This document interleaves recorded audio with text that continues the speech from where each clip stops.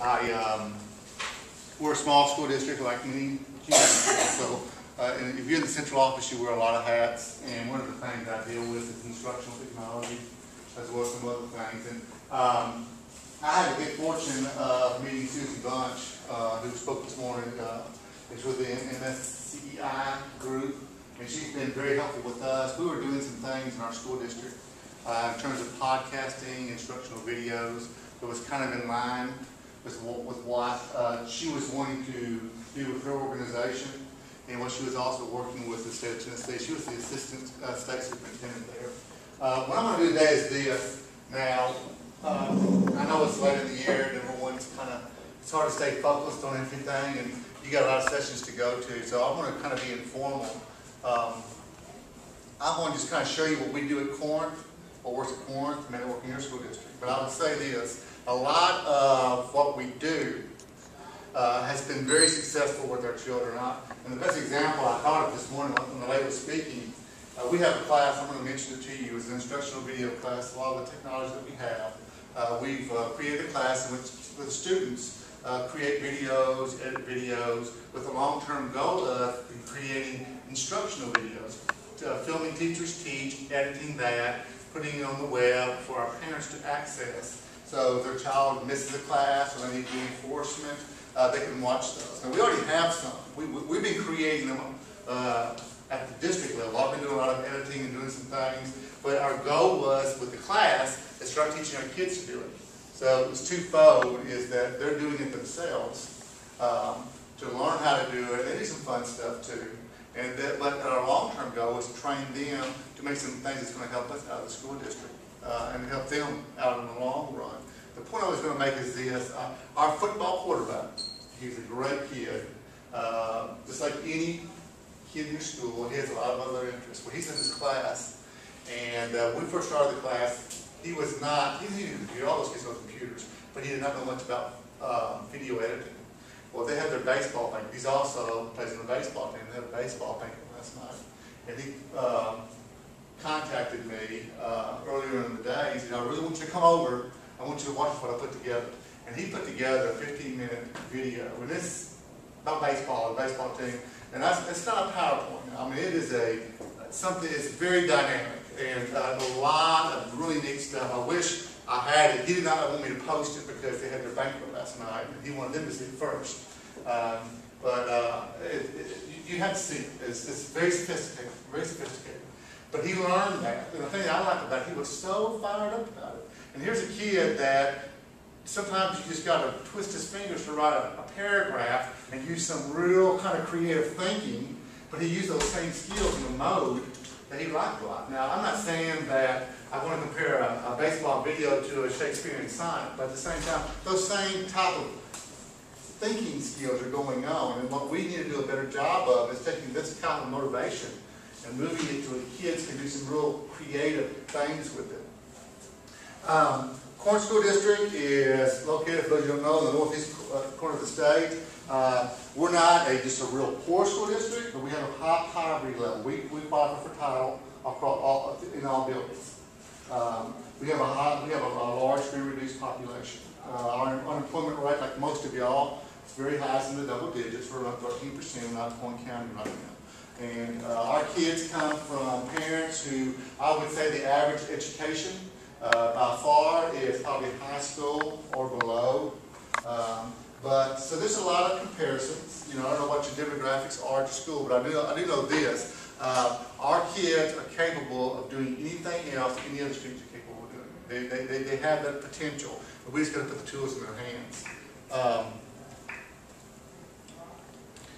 what I'm going to do is this, and I know it's getting close to lunch, and I'm going to try and uh, kind of get us out a little early as possible. So we, I want to cover some things. And one thing I want to talk about is this. And she did a great job earlier uh, showing you some things. I'm, gonna, I'm going to try not to repeat what she said. But the question is, are we ready for this technology? And uh, talk about how we got the idea do the things that we're doing and how we use the technology. And talk about specifically about podcasting as an instructional tool. And one of the biggest things I think is to really turn around how we educate kids, and that's webinar. I think webinar technology is, is something that if you've uh, been dealing with the state lately, they've been doing more and more webinar type stuff. Uh, rather than have to drive from Corinth, Mississippi down to Jackson, which is a very long trip for us, stay four hours to hear someone talk or read from a piece of paper. You know, now we at least we'll have a webinar that we can watch and read from a piece of paper on, on the computer. It saves us some time. And I'll be glad to answer any questions. Uh, first of all, you always talk about money. Now, To use some technology that we have. And some of you are going to say, well, that's pretty nice stuff to have. I will say this. Technology, less than 5% of our technology is purchased through local funds. We don't have the money locally. But there's a lot of federal funds out there. And there's one thing that my superintendent does well, and he's taught me how to do, is write for grant money. And you'll be surprised. One thing I've learned is this. If you do good things with grant money, you get more grant money. You know, it's finding somebody in your district, it could be at the building level, to get somebody to write grant money. And there's a lot of money out there to do these sort of things. There's going to be a lot more money coming down the pipe. But I would say 90% of what we have, we got through federal dollars. We got it through grant money. Uh, we also had some, uh, some earmark grants, and we had some donations. You know, we had some folks who were interested in what we're doing. That's another thing I found out. We do some nice things. We, some things we do as far as some of the podcasting and videos that we do, we do it for the community, and they respond back. You know, they respond back. They like that stuff. You know, parents like seeing their kids on the computer screen or on the television screen. And so we do some things that we know appeals to the parents. It's good PR. You're talking about the community as opposed to businesses. Exactly. Well, and I will say, maybe some bleeding over, but we have a lot, we have a lot of community, real strong community organizations in Corinth. We're very blessed there.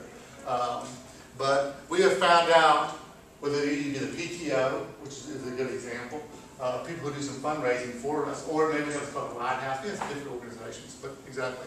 Now, of course, I always like to throw this up here when I do a presentation on technology, and that's for real. And I always have a running joke with a friend of mine, because when we start talking about things, well, that's just Jetson stuff, that's just Jetson stuff. You know, I want to tell you, you know as well as I do, and I just know, I said even in here, and you know, you think about walking down the hallway, how many people have look at a, look at their cell phone or their BlackBerry at least once or twice, and then I do it all the time. I, I get mine set on vibrate.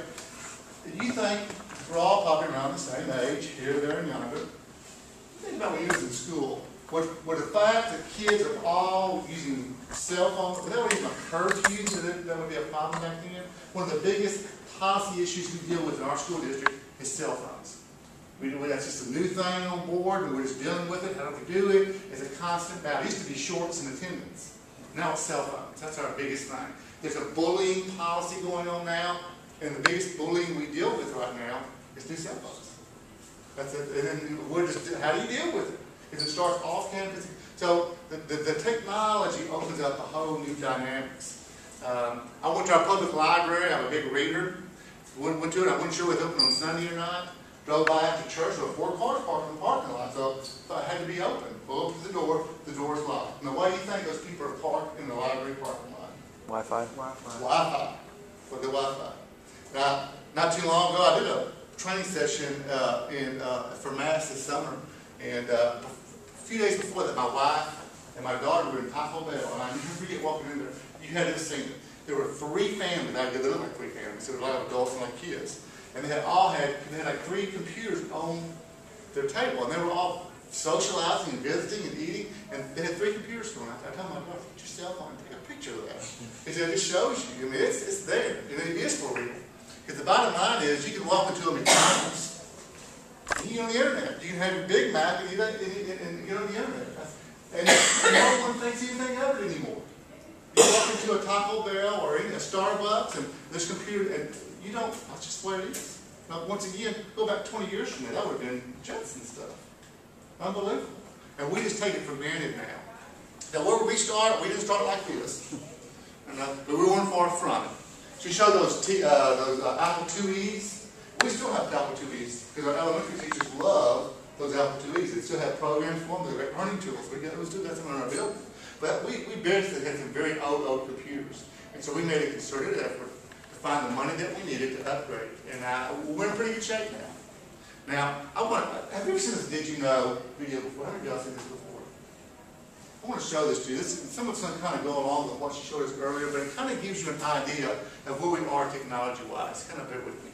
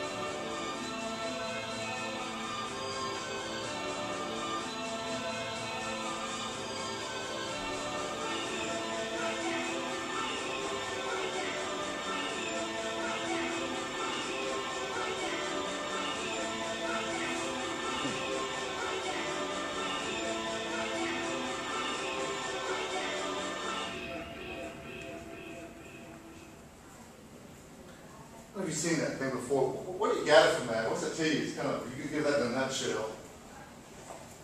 It's fun trying to put the backbone into the school district. Do I now? It's fun trying to put the backbone into the school district. Well, I tell you, I had a friend of mine, I think he's really funny, and, uh, well, I showed it to him, and he grabbed his hair and started running out of the room screaming, he's gonna give up. You know, it's kind of, it's, it's overwhelming, it's overwhelming, but at the same time, it's something we gotta pay attention to. And, you know,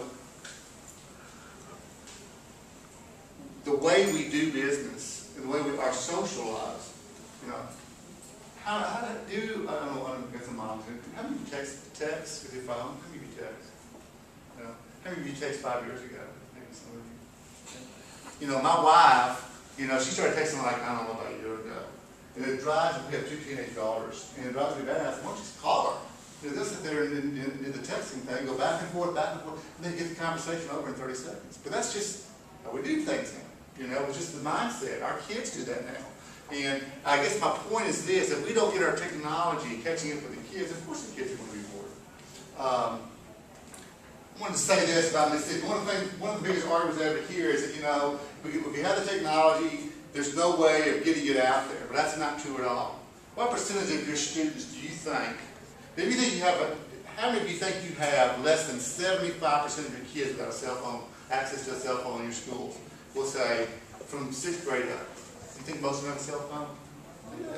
And I'm gonna tell you, they may not be able to afford anything else, but they're gonna afford a cell phone. And a lot of them are going to be able to afford internet access. You know, that, maybe nothing else, but they're going to be able to get that. There is, that is possible. In Mississippi, this is back in 2007, 53% lived in a household with internet access. That's and think how much it's probably changed in three years. My point is this, you say, well, it's only 53%, it's really the lowest, one of the lowest in the nation. But if you could reach one out of every two of your children through the internet, how successful would that be? When you have a uh, open house in your school, secondary, how many people show up for that? Does fifty-three percent show up for it? Does twenty-five percent show up? At our high school, we have a pretty strong community involvement. We'll be lucky if we have fifteen parents there. So our philosophy is, they don't come to us, we're gonna come to them. Uh, we found it also in Corinth, which is like another thing, broadband is big now. What's the, what's the significance of broadband? Why is it so important? Why is broadband so important? It's all about speed. If I have a big enough hose there, I can put a lot more water through it. And so we're able to do a lot of things with our videos and do instruction that you couldn't do before. You know, uh, new research shows 63% of adult uh, Americans surveyed ha- now have broadband internet connections at home. What's the significance of that? How many remember this sound? When's the last time you heard that sound? Very few folks now have anything less than DSL or a um, broadband connection. If you don't, it's because of your location. But if you if you don't have it now, you have it in five years. It won't take long to get it. The problem is more the access. Our kids have it too. It's a must-keep category now. You may, during this time of recession, uh, everything shows that people aren't going to give up their internet. Another thing are cell phones. In our home, well, there's four of us. We all have a cell phone. If you go for nine ninety nine, you add someone to your plan. We don't have a, we don't have a landline. How many of you don't have a landline in your house? You know, most people don't. The only people who are calling them on landline, who they were, solicitors. Mm-hmm. There's only two people calling them on landline. So I just got rid of it. Why pay the extra money? I guarantee you, there'll come a time when very few people will have a landline. And especially our children. A lot of us have landlines because we grew up with landlines. That's what you did. Our kids grew up with a wireless connection, and they don't. How's it being used? She mentioned before, they're using it to, a lot of our kids are using this, this technology to get on the internet. How this relates to education is this. The number one reason why students drop out of school were classes were not interesting. They were bored, they didn't like it. And why is the reason? That's how our students think. Everything they grew up just wild, just animated. And this is how we teach. Do you agree with that? That's our classrooms. Our kids are being exposed to all this dynamic stuff, You can make pond cool under certain circumstances. Excuse me? You can make it cool under certain. Exactly, you can. You can. But you can't expect kids to come from a multicolored social lab into a black and white classroom. You've got to make the classroom interesting. And to make it interesting nowadays, I mean, the, the bar has been raised of how we do it. I'm not saying technology is the only thing that you do. There's a lot of other things you can do. You can be, a, being dynamic teaching, nothing will ever replace it. But if you don't think putting the technology in their hands is not going to help your class, then you're wrong. And so that's what we try to do. We try to do some things. And you're, and you're shortchanging your children if you don't use that technology and teach them to do that technology. Uh, experts predict that the newest generations, unlike the older peers, will expect an instant response from everyone they communicate with and won't have the patience for anything less. And you've had your kids before. My kids, I mean, if they send off a message and needed to get a message back, they're used to that kind of information. Uh, they'll want the professors to do the same thing. What about our parents? You know what the largest growth group of Facebook is? What age group? 35 and up. uh, is our older adults. Thirty-five percent of adult internet users have at least one profile on a social networking site. So what does that mean? What does that mean? What it means is both children and adults feel very comfortable with this technology. So some of the things we're doing at Corinth, we believe it works, not so much now, but further down the road, because the parents feel comfortable in front of a computer. A lot of them spend a lot of time in front of a computer.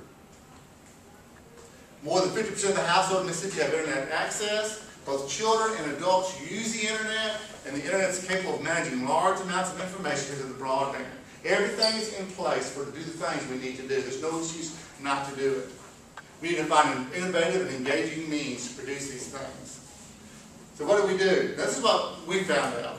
The corn, going from nothing to something. Is that we have a website. We put together a little video. This was uh, two years ago. Football team was very successful. So we put a little video together. I won't show all of it. I'll show a little bit of it. The bottom line is this. We, over a two-week period, you know how many hits we had on this video? Close to 4,000 hits. Now, it might be the same three football players going over and over again, but we know we had a tremendous response. We know that they got a lot of feedback on it. And so it got us thinking, you know, really, you know, students and teachers watch the internet. If you got something engaging on your website, they'll watch it. You may have to be the carrot to get them there, but we thought, we knew that people felt very comfortable going to the website and using it. Our number one goal as a school district is to get information to parents. I don't know what your areas are in the school districts in which you work, but one thing we found out with assessment is that in our new curriculum, is that most parents don't understand it. That our parents are very good helping their children, but they're not helping them the right way. They do the terms and definitions. I had a conference with a parent one time with the building principal, and she said the biology teacher was not teaching her child, she was filling these tests. And I said, well, we help her every day for the test. I asked her, what do you do? Basically, she'll give a term, and the child will give the definition. And then she'd get real clever, and she'd give the definition, and the child will give the term. Well, the, the test is nothing like that. A very small portion of the test dealt with recall. What was going on, they were doing a lot of integrated thinking skills on that thing. They were saying, this is a problem, this is a problem, based on this and based on this. If I give you this situation, what's going to happen? And they had to write that stuff. You, you know what the biology test is like now, don't you, you're in secondary education? It's, it's, it's, it takes a lot of critical thinking skills. They were at home, parents, remember, so we knew we had to get the information to our parents. They need to learn what's going on in the classroom. That's one, of our goals there. This is our web webpage. No, it's, everyone has good web pages nowadays. But one thing I like about our webpage, and I'll show you in just a moment, is that we do have some dynamic content on there. This is a little video here, I'll show you a little bit. This is our little group of kids, that's the quarterback here, who go through and they do some nice things about doing some informational stuff. They put it out every week.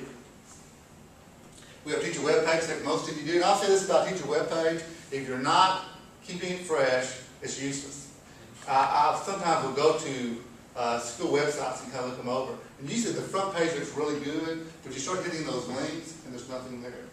Parents find that out very quickly. We encourage our, our teachers, keep your, your pages fresh. We keep a weekly homework assignment sheet. It's one of the things the teacher came up with. We've had such a tremendous response on that. They can go here, and they'll know what the homework for all the teachers are for that week by going to the website, and they update it daily. They even have some downloads right here. Go to the teacher website, and you get some worksheets. Read pacing guides. Uh, our website, I hear it's really slow here, so I'm gonna waste time with it. In ahead. terms of your getting your clients to deliver the content, was it top down driven or did you drive from the bottom up? I will say we met halfway. I mean, it was, it was really top down, but we quickly found, you've got, you've got people, and I'm sure, I'm assuming that you're those people in your school districts who love this sort of thing, and they're, and, and, you know, I had a few, I, I got some, just like you do, believe me, they don't do a thing with them. But I'm gonna here to tell you, hundred percent of my teachers lock arms every day and can rush to the computers, they just don't do it. I've got some that really, I, I get my key people and I tell them, have them write on a piece of paper, give it to you, and you refresh your page for them. Because those folks have no desire, they're not, they- they've never done it, and they don't want to do it, which is fine. As long as they're teaching in the classroom, I'm happy. Because I will emphasize this, this is just one thing, it's not the only thing, and it's not the main thing. You know, nothing replaces good instruction in the classroom. If my teachers are on their feet and they're engaged and they know the framework and they're teaching the content and they're good, they got good assessment tools and they're measuring and they're, they're modifying based on measurement, I'm happy. This is just, this is just gravy right here, you know. You know, we don't have this, we'll still be a good school district. But I'm gonna tell you, you're still doing an injustice to your kids if you don't do this. They need every advantage in the book.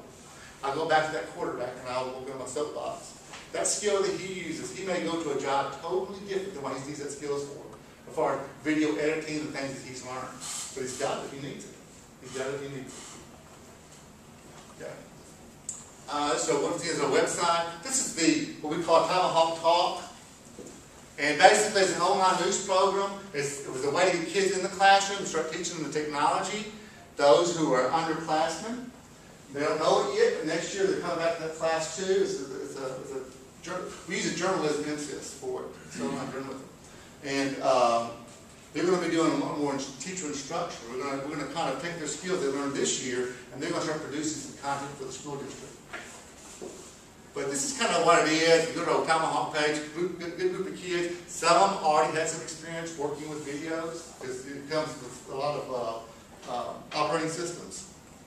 This is really our setup here. I'm gonna play this. We have, through a grant, bought some lighting, got a green, we do a green screen. Now, I will say this, since we got a lot of stuff, and that camera's expensive, but we got, we used, uh, Title One money for it. But these kids go in there, they can do green screen effects, I'm gonna show you one that they, they, they can do. They read a script, they edit it, they put it together, and they put it on the internet. They do it once a week, and they love doing it. Now, they're a little burned out now, but they love doing it. They can take that, take all the green out, and do some really dynamic green screens. Now, I'm gonna pause it just for a second. You can go to Walmart and get a green sheet, do the same thing. You can go to Walmart, know, we got some nice little lights because we got grant money for it. But you can go to Walmart and get any kind of just regular lights. And the only key to the green screen is that you have a bright light, you, you shine lights on the green, and then you shine lights, separate lights on them, and make sure there's no shadow behind them. Because what you're gonna do is you're gonna take the green out, and you'll make sure they're equally lit, but not by the same light. It's a very simple procedure. An iMac, being what you use, has a program free when you buy an iMac. It comes with this called iMovie. It's got a little button for a green screen effect. You put, you click it, it takes all the green out automatically. You don't do anything. It just, it just, it's very intuitive. Next door, Tina, she, she trains on that. It's just a very simple tool. And you can do so many dynamic things with it. Now, here's that same group, we've taken out the green. We have a nice little background there.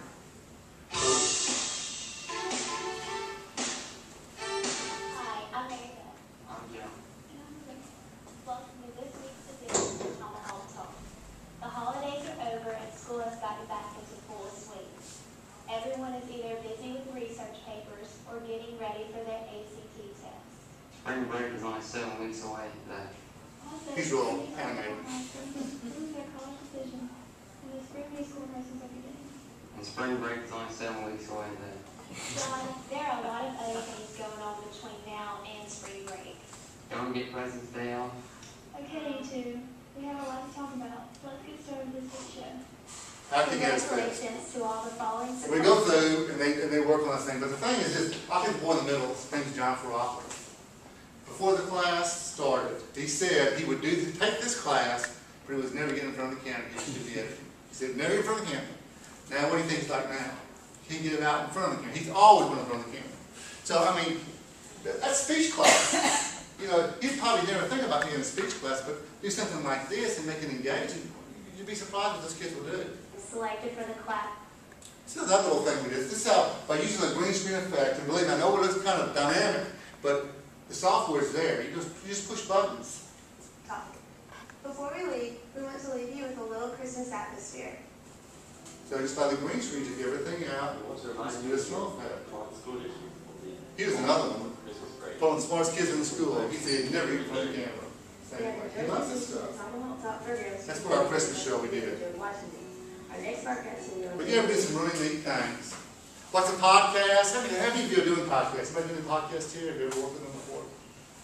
A podcast basically is just what you, there's a lot of intuitive software. If you buy uh, a Windows now, Windows 7, it comes free with some video editing software. Most of it does. iMac the same way. There's a lot of stuff that comes free. You don't pay a penny for it. The old Windows, everything stuff was not as good as the Macs. No, not at all. Now, we're Mac people. When it comes to multimedia, I want a Mac. Now, I'm still on the Windows Suite. I, I stuck to Excel and Access, just grew up with. But when it comes to multimedia, give me a Mac, because it's so intuitive. Uh, podcast can be about anything, what you want to be. There are a lot of audios. Used to be people did a lot of audios podcasts, because they were so simple to do. Now with the broadband, you can do video because you know, it used to be, I don't know if you've done it before, in the early days of doing video, it would, you wouldn't, it would be so slow, it would be like, you know, robots talking. Now it's real smooth. If you went to our website now, look at some of our, those videos, the time, they would be real smooth. You don't have a problem with speed. We have what's called Corinth School Online, it's instructional videos that we do, uh, that we do for our parents. This is an example of one. This is just using Keynote, which is like PowerPoint. East Point Elementary Back to School Survival Plan. School administrators and teachers know that the beginning of the school year can be a stressful time for students and parents. To help make this time less stressful, we have put together 15 fabulous suggestions to help get the school year off to a fabulous start. And she just goes through, and she goes through, and she does that. She just goes through, it's a back-to-school thing, online. We had parents who, those parents can make the open house to learn that, they can go to our website, go to that video and watch it. It tells them everything. Because some of our schools are unique in all we ask our kids to and to, and do not do. One of the biggest problems you have when kids move from one building to the next is the rules change. We also have this right here, we have a lot of instructional videos, not, not gonna go to our, she told me earlier, our site's real slow, you know, make it a little while to download the video because of the speed issue. But basically, we, if you go to our site, you can go to the, we have a site that shows every English 2 objective. You click on the objective and you get an instructional video.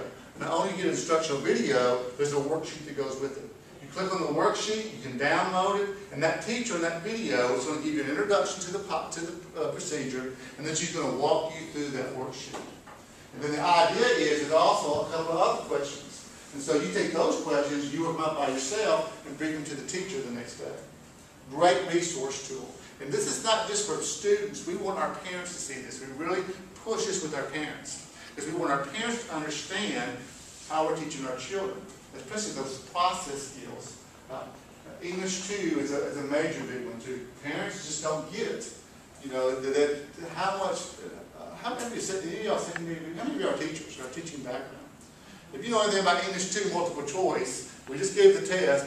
If you're like us, our highest failure rate in English 2. English 2. It's a difficult test. And the, and the problem is, you gotta think, you gotta read, actually read the stuff, and you gotta think. And so this tell, goes to takes you through that, helps you through it. Right. Here's what you can provide. Another thing we do with iPods, this is the nice thing we do, is that we download the, these videos that we create, and we create iPods with them. And then we use the iPods, give them to the kids. I've got,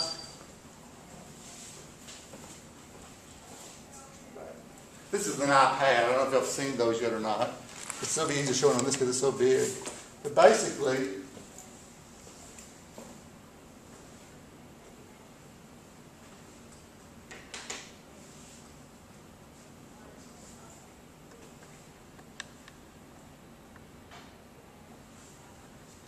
This is just a list of seven instructional videos. We can give these to our kids, same thing, and they can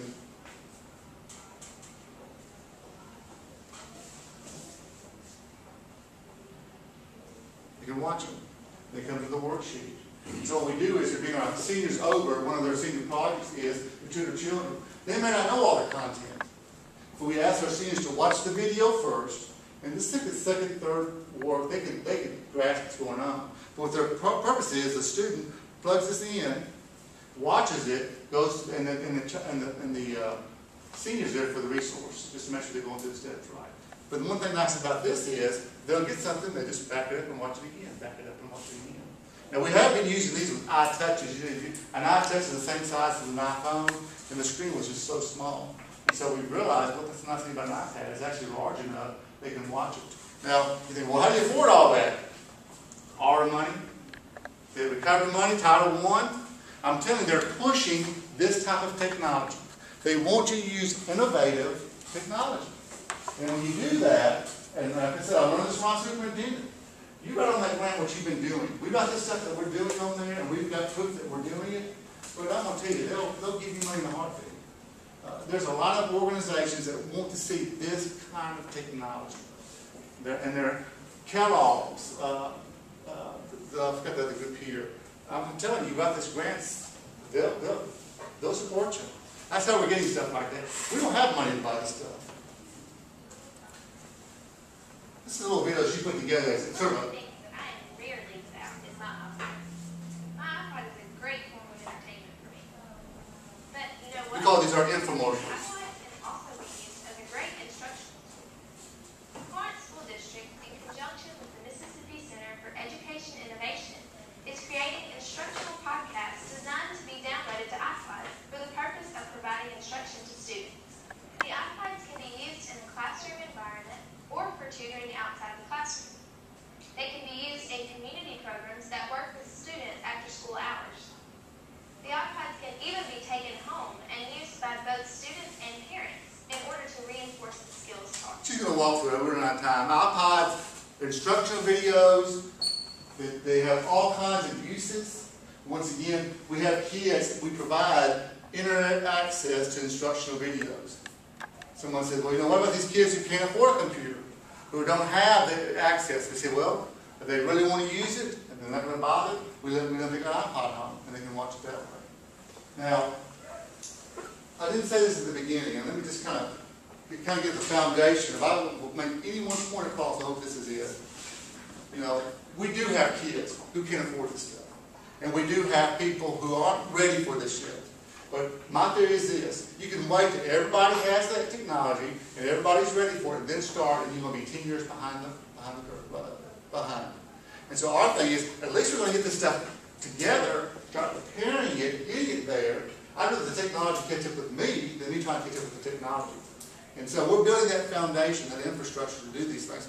I don't care what your school district is right now, who's in, you have to do the very same thing. There are, your, your, your kids are just as skilled as our kids are. You will find people in your faculty who are just as enthusiastic as our faculty people are. The money is available. You can get the money if you know where to look and you're ready to work for it. I'm not gonna talk about podcasting, it's a simple thing to do, everyone knows how to do it. Your kids know how to do it, they do it, they upload stuff to YouTube all the time. This is the thing I'm most excited about, I talk about web apps, direct line instruction. I want to tell you, for sixty-five dollars a month, sixty-five dollars a month, you can buy a WebEx account. The one thing about WebEx is only one person has to own the software. If I, once I have it, all I do is just send you an email and you're beaming into me. All you need is an internet connection. And once again, we know everyone's got internet connection. I would tell my superintendent right off the bat, hey, you already connect with your people, if you're having a great outreach, and you get your point across, you buy this program. Because that, your superintendent can easily do a WebEx to any parent who wants, now, you only have five parents logged on, who knows? But I will tell you, that file will turn to ten somewhere down the road, turn to twenty, if it's successful, it will grow. How does it work? You know, presentation style, how many of you have done a webinar before? Have you ever done a webinar before? Very simple to use. I'm gonna show you this, this is one thing that I'm, uh, we're very proud of. We did a little infomercial on our, on our WebEx program. Perhaps one of the greatest challenges facing teachers is ensuring that their Our class put this together. skills that are taught each day. Often, this requires one-on-one This is done with a green screen. Classroom hours. Also, in some cases, special attention is missed because students are placed in a restricted environment that may limit their exposure to the regular classroom teacher. So, how can a school district meet all of these needs? One of the methods that the Corinth school district will be using to address this challenge is through webinar technology. Webinar technology allows a teacher to connect over the internet with one student or a group of students. This is an interactive connection in which the students are able to hear the teacher and see the information that she has prepared for them. The students are also able to communicate with the teacher through voice or instant messaging. This technology will be a great asset in those situations in which the student is located in a restricted environment. We bought this technology, a lot of our money came from, we have a juvenile detention center. So we applied detention grant money to serve those kids and our alternative school kids. This is stupendous you have an alternative school setting. A computer and an internet connection, which by the way, is much cheaper than a teacher's salary. Another use of webinar technology will be an online homework hotline. Beginning this fall, several of our teachers will be available to work with students in the evening. The teachers will post a time and topic on their webpage and invite students to students from their home. The students and also the parents can communicate with the teacher and work out any problems pertaining to a particular lesson or homework assignment. Just think of it. You have several students in different locations being serviced by the same teacher. Online, multi-teacher tasking conducted by only one teacher. It's like one teacher could be several. Yeah, several teachers. I just said that. No, I thought I just said that. Well, you get the point. To learn more. But do you think the kids love doing that sort of thing? They eat that stuff up, I'm telling you. They apply that, it takes something educational, I mean, that's, that's very motivating to put something like that together and to be able to watch it. Be able to watch it. And you'd be surprised at simplicity. Uh, hey, I'm not a big tech person, Now I've learned a lot about it, but the, the software does all the work. It's very affordable, extremely affordable. Warren, Doc Kate. Once again, we use it for alternative school and anything. How many of you have an off-site alternative school? Do you have a separate alternative school building? Do you have to send teachers there to serve those kids? See, we're a small school district. We have to get teachers, give up a period to go over there and serve those kids. Now we've decided is, we're gonna put computers in there, and we're gonna make our teachers drive across town. Because we have a big scheduling process. It takes time to drive over there and drive back. We have to make sure they have a planning period here, we schedule with lunches. So now we just have them sit in a classroom and serve those kids, a webinar. You know, once again, if you're trying to think of ways, if this, if this does interest you, you think, well, how do I, how do I sell this? That's a selling point right there. You can go to your central office and say, listen, I can save this money on our charge school off the bat. You know, you give them, I, I, I'm gonna save you a teacher unit, a seventh of a period, or whatever, however you paid your teachers, I can save them a fraction of the cost by do- doing this right here. By the way, gonna need a computer, I'm need a camera, I'm need this. But in the long run, you're saving money. That's how you sell those things. We also use it for a juvenile detention center. This is kind of an example of how it works. Uh, this is that, this is the, the student who's one of our, uh, detainees, he's not from our district. And that student basically is doing the work there and, uh, she's online. You sit right here, they're online working on it. Yes, sir. Five minutes. Okay, thank you. And that's her working from a classroom with the student. And as you can see right here, there's a picture of her, a picture of the student. And she's working from her classroom. Our juvenile detention center is probably about ten miles. So rather than have to drive ten minutes and ten minutes back, or that staggering schedules, she can serve that child right there. Once again, there's a student screen, teacher screen, they're seeing the same thing. When you've done the webinars, you know what it's all about. Sixty-five dollars a month. That's all it costs me, sixty-five dollars a month. You can't beat that. That's a lot cheaper than a teacher. Homework hotline, same thing uh, we do. I will say, our home- our homework hotline was not very successful. We couldn't get our teacher, we gotta work on getting, motivating our kids to come online and to take, take advantage of it. We got everything in place. The first night we did it, the only person who got on there was a man from another school district. We somehow went to the website, found out about it, he wanted to see how, what we're doing with it. So she taught him a lesson. That's kind of web-based interface. Once again, my point is, things have changed, our first mobile phone is a lot different than our current mobile phone. Other ideas, you know, no, I, I know, when I show things like I think, well, it may seem a little overwhelming, you think, who we're not in a position we can even come close to this. This is my fourth year at Corinth. When I was at Corinth the first year, there's not anything that I did, it was a group effort, but I guarantee you, we were much further ahead than you are right now. Some of you are probably further ahead than you were then. But we made, we made a concerted effort, we were gonna do these things.